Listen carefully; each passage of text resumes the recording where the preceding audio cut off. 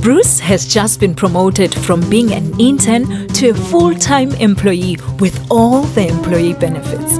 I heard he's even getting car allowance. Oh, for me! Thank you very much, Bruce. You're so sweet. For the past few days, Bruce has been telling everyone about how his salary will now be four times more than what he was making as an intern. Now he also gets a payslip just like all the other employees.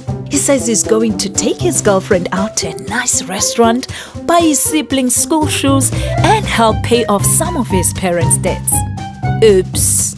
It looks like poor Bruce forgot that there are deductions on the salaries of full time employees. He forgot about the taxes, medical aid, the money towards retirement, and other deductions. He forgot that net is always less than gross. Hey, Wena, what did my bin ever do to you? Who's going to pick that up?